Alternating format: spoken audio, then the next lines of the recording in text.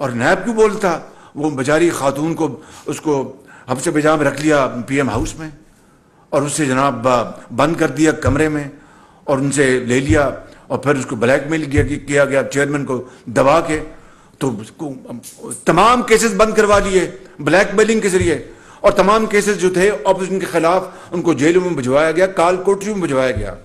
फिर मुझे बताइए कि मेरे खिलाफ एनसीए में गए लंदन में, national crime agency national crime agency की वहाँ पर के दो साल केस वो, वो चलता रहा। मैं चुप करके बैठा रहा कि अल्लाह इज़्ज़त रखना और कुछ नहीं मैंने अगर कोई जुर्म किया है तो फिर ठीक है मैं उसको भुगतूँगा अगर नहीं किया तो मुझ पर कर्म करना मेहरबानी करना। एनसीए दो साल उसके बाद क्लीन चिट मिली। इनका जनाब वो फाइनेंशियल टाइम्स में वो पैसा वो अपना शौकत खान अस्पताल के लिए खैरात का पैसा अपना सियासत में इस्तेमाल कर लिया। अगर ये गलत था तो जाते फिर वहाँ पर उसके खिलाफ, जिस तरह मैंने डेली मेल के खिलाफ केस किया, ये करता जाके फाइनेंशियल टाइम में उनके खिलाफ केस करते जाके। इससे ज़्यादा, यानी झूठा शख्स, मैं आपको बिल्कुल, मैं ईमानदारी से कह रहा हूँ, खुदा को जान देनी है, मैं बहुत गुनागार आदमी हूँ।